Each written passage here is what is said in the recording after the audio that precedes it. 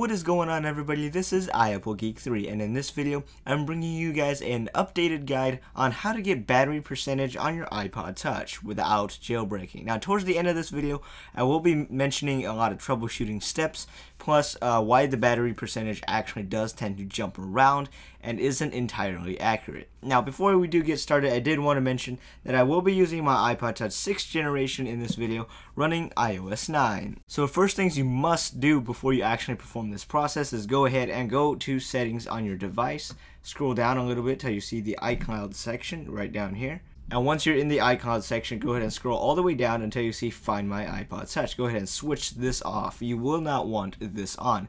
If you are on iOS 6 and below, you will not have to worry about this, but if you're on iOS 7, 8, or 9, you will need to have this option turned off. So once you have that turned off, let's go ahead and just head to the computer. And for this to work entirely, you will need to install iTunes. I already have iTunes installed, so let me go ahead and pull it up. And you will need to go to your device section right here go ahead and select this computer on the automatically backup section and go to backup now. Go ahead and click on this. I have already done this, so I don't need to do it again. But once you've go, went ahead and back up your device, you are good to go.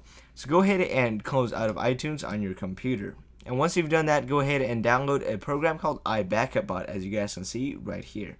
I will have links for that in the description. Be sure to click on the link that is specified for your computer, either Mac or Windows computer. So once you do have iBackupBot installed and your device is backed up to iTunes, go ahead and connect your device to your computer with a USB cable and go ahead and open up iBackupBot.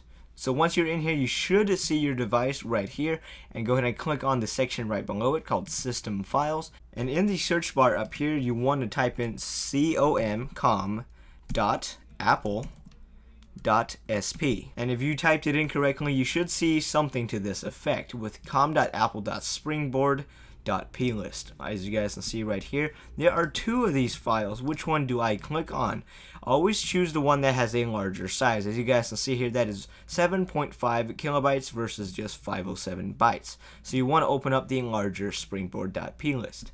So once you found that, go ahead and double click on it and open it up. Upon double clicking, it will ask you to buy the program. Go ahead and just hit cancel right here so that way you do not want to buy that program. Once this window is open, you want to go ahead and paste in this code into that window. I will have a link for this code in the description. That way you can just copy and paste it in here. So go ahead and just hit enter on the line entitled DICT and make a new line. And up here you want to click this little yellow button here. That is the paste button. Go ahead and make everything line up like so. And there we go. So once you have everything lined up, go ahead and hit this save button up at the corner right here. And go ahead and click the red exit button. And once you've done that, go ahead and select that file that you just modified, as you guys can see here, 7.5 kilobytes.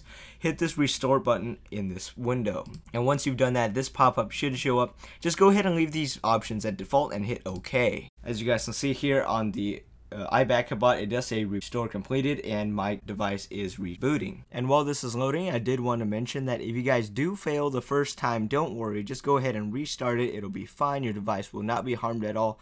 And also, if restarting doesn't help, you know, unplug your device, replug it, and reboot your device. Also reboot your computer, check if your Apple drivers are installed. If you're on a Windows computer, you know, reinstall iTunes or iBackupBot and maybe try another computer if this does fail. Also, I did want to mention that the battery percentage will not be 100% accurate because the iPod does not have the physical hardware to accurately detect the battery level, unlike iPhones and iPads. Alright, as soon as your device boots up, you can probably notice that there is now a battery percentage in your status bar. So guys, that is how you get battery percentage on an iPod Touch. Remember to use that specific code. I will have that in the description again. If you do not use that specific code, this process will not work. And if you guys do want to revert this process, go ahead and just go into the same file that you modified and find the string of code. I believe it's under SBS. So go, go ahead and look for SBS and there it is SBS show battery level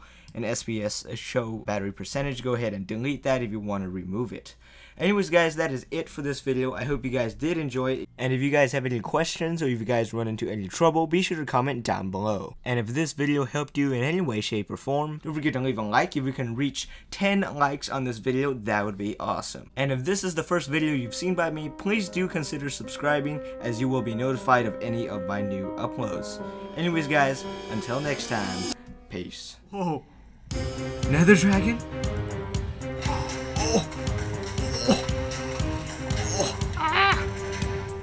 Leave me alone. Mm. Oh. Oh my goodness. What do you want from me, dragon? This guy is mean.